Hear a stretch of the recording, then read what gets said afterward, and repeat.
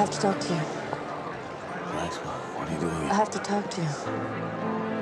Right. This is not a good time. I'm pregnant. The baby's yours. But Emily, make your husband believe that it is. Is that what you want me to do? Grace.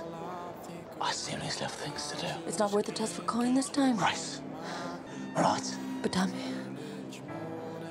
I was right not to tell him. I could have phoned him and lied, but I didn't. Just tell me that I was right. Yes. Yes, Grace. Because the thing is, I love you, not him.